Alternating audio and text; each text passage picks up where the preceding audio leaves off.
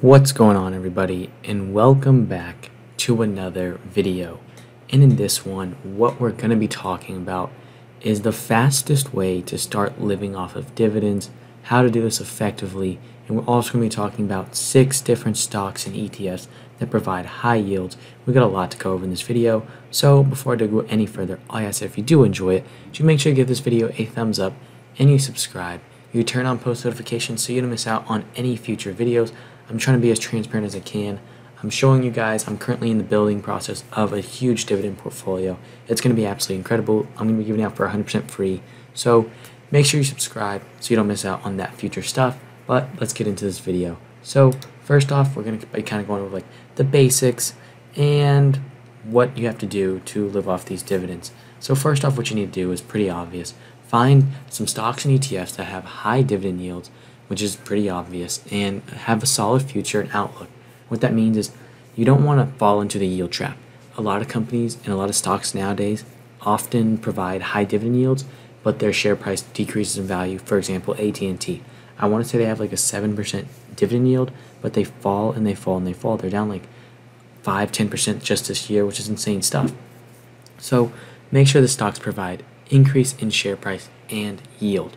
You want to make sure that the stocks are consistently paying these dividends and preferably increasing these dividend payments. And next up, you need to be consistent and continuously and persistently add money to your portfolio as often as often as possible.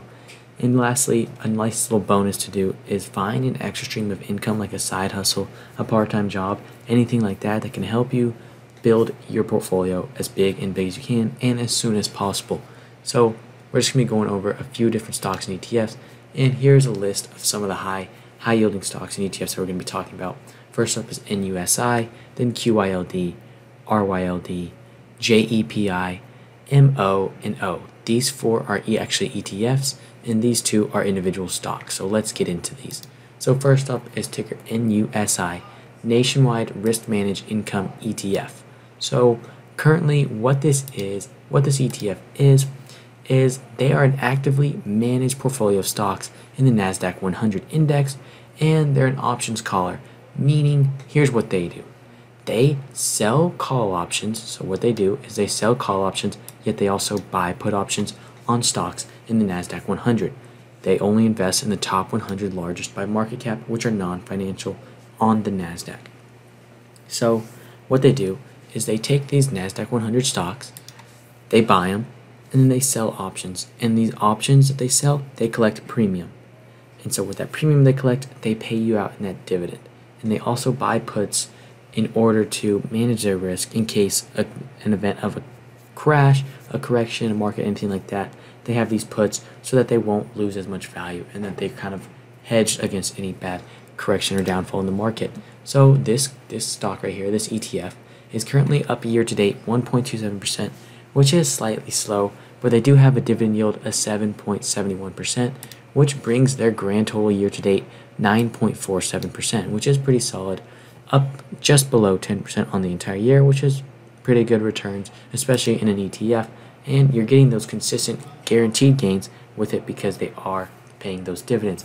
Over the past year, they are up 4.39%, which is semi good, but remember, we're including that dividend yield. So 4 plus 7 is about 11 plus the points. You get about 12% one year returns, which are pretty solid returns.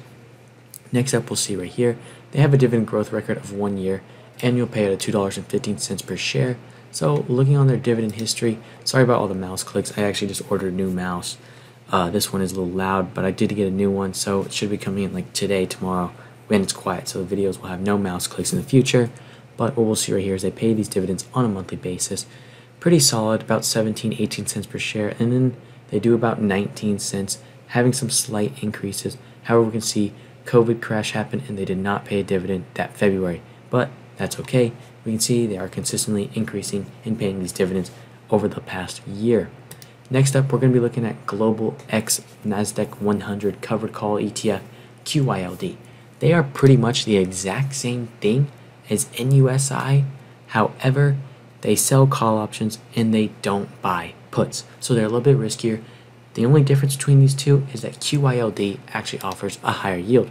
However, with this accounted for, their current year to date daily total return is 6.57% because we can see year to date they are in the red. We'll see right here on the past year to date they are down 1% and their yield is roughly 10%, so they are down over the past year. But what we'll see is over the past whole year, since October, they're up 3.72%. Their dividends right now paying out a nice dividend yield of 10.45%, dividend growth record of two years, and an annual pay for share of $2.36. Looking on their past dividend history and dividend payments, what we'll see is that they are paying these on a monthly basis. Kind of volatile over the place. Some dividend payments are 24 cents, some are 22, and some are 19. So really the main main key is that you're getting these dividends on a monthly basis and you're reinvesting these dividends. You need to be reinvesting those dividends. I can't stress that enough. The difference in between reinvesting dividends and non-reinvesting dividends is huge. Okay, whenever you reinvest your dividends, you make way better gains.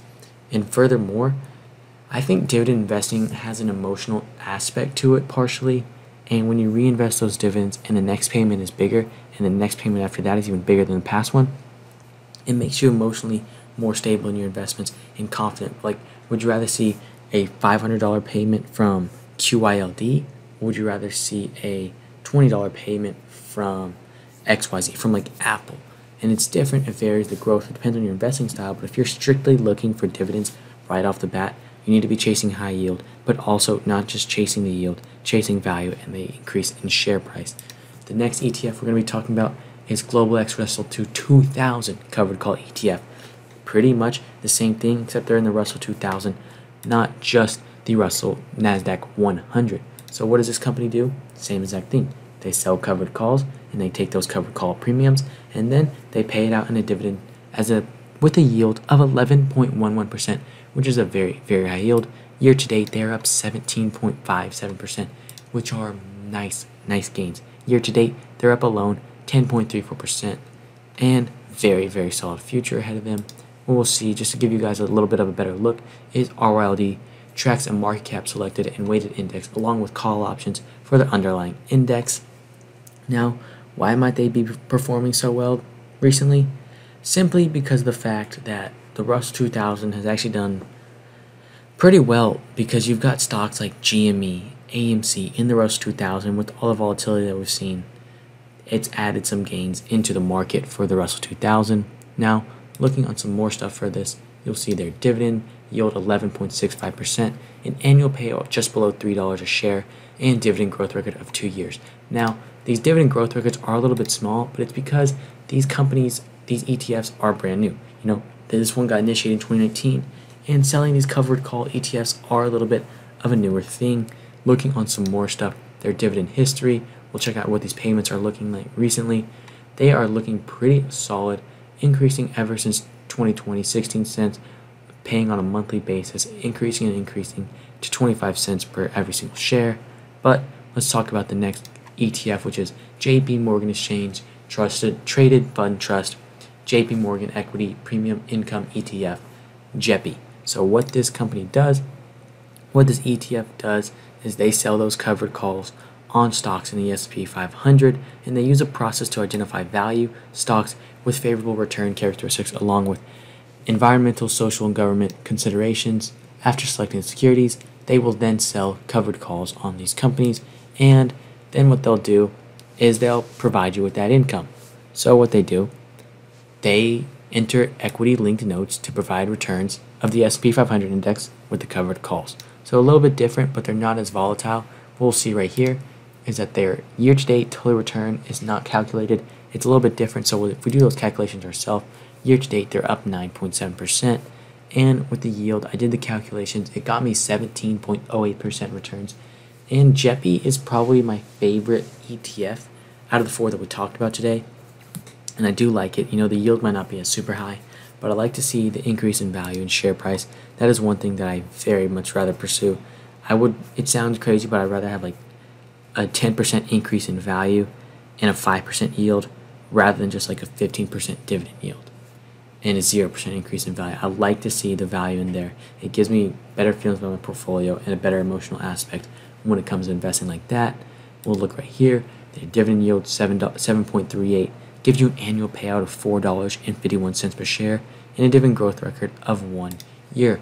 Looking on the dividend history, we'll see 34 cents, 34 cents, a little bit volatile. It's a little bit hard to tell with these ETFs also because the premiums are they they range in how much they make on these premiums. Some months they might make a big premium, some months they might not make much premium. So they kind of are not as stable as a company who's getting subscription revenue and projecting forecast sales like that. They can't be as solid and be as like consistent on their own road as that. It's going to be a little volatile with these ETFs.